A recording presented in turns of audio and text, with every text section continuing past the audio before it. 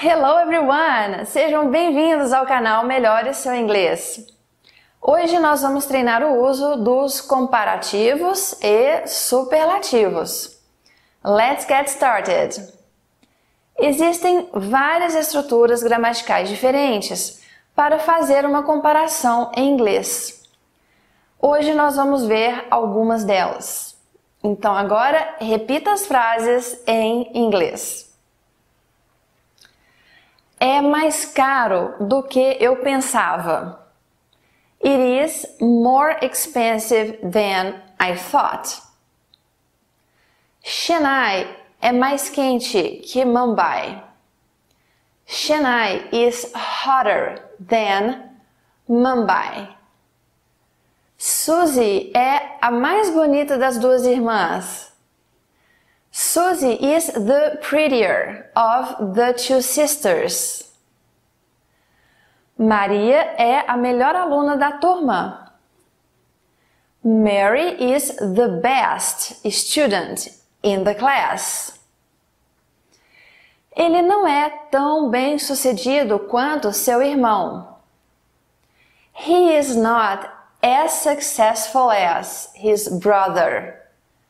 O carro está funcionando melhor desde que esteve na oficina. The car is running smoothly or more smoothly since it had a service. Foi o vestido mais caro que já usei. It was the most expensive dress I have ever worn. Foi dez vezes mais difícil do que eu esperava. It was 10 times more difficult than I expected. Eu consigo andar três vezes mais longe do que você. I can walk three times further than you. Ele é duas vezes mais animado que o seu irmão. He is twice as lively as his brother. Ele explicou com cuidado, mas eu continuei sem entender. He explained it carefully, but I was still none the wiser. Quanto mais informação entra, mais confusa é a imagem. The more information that comes in, the more confused the picture is. And that's it for today. Thank you so much for watching this video. I hope you enjoyed it.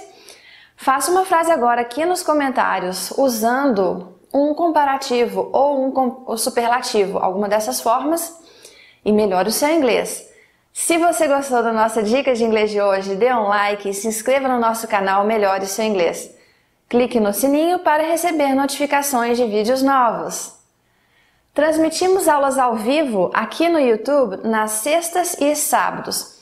Participe, comente. Siga o Melhore o seu inglês no Instagram, no Facebook e procure pelo podcast Melhore Seu Inglês no seu aplicativo para ouvir podcasts.